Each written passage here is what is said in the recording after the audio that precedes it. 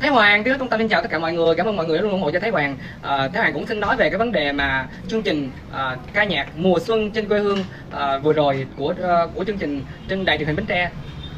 Thật sự cái chương trình mùa xuân trên quê hương à, dự kiến sẽ phát sóng trên đài truyền hình Bến Tre, nhưng mà vì á, có một số trục trặc cho nên Thái Hoàng không có phát sóng trên đài truyền hình Bến Tre. Vì khi mà làm poster của chương trình để đăng lên chưa, Thái Hoàng chưa có đăng lên, thì cái bạn mà làm poster bạn đăng lên cho nên nó mới xảy ra cái cái vấn đề là cái bên phía của HL biết được cái chương trình đó, nhảy vô đánh giá một sao của đài truyền hình Bến Tre người ta, rồi comment tiêu cực này nọ cho nên đài truyền hình Bến Tre người ta ngại và người ta không có dám phát sóng cái chương trình đó.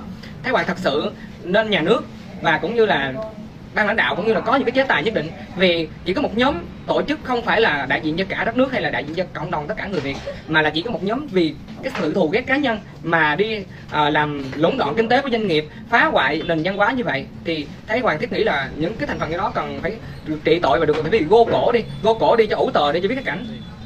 Và tối đêm nay tức là 30 30 tháng chạp âm lịch là sắp giao thừa. Vào lúc 19 giờ 3 19 giờ Thái Hoàng sẽ phát sóng chương trình Mùa Xuân trên quê hương. Chương trình ca nhạc được Thái Hoàng làm đạo diễn và Khai Thi Phạm là đơn vị giám đốc sản xuất, được phát hành trên đài truyền hình BTV2 Bình Dương lúc 19 giờ. Cảm ơn mọi người đã yêu thương Thái Hoàng cũng như yêu thương tất cả ca sĩ trong chương trình. Ca sĩ trong chương trình bao gồm Danh ca Họa Mi và Thái Hoàng cùng rất nhiều anh chị em nghệ sĩ, ca nghệ sĩ với chất giọng đặc biệt rất là hay. Xin mời quý vị lắng nghe và đón xem.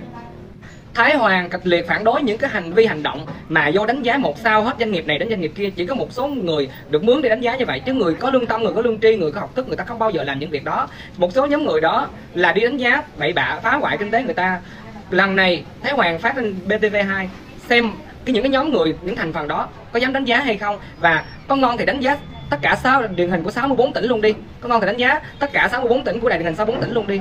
Tại vì uh, cái đó là dạng dạng phá hoại. Đánh giá hết 64 tỉnh luôn đi xong rồi hỗ trợ cả đám luôn. Ok.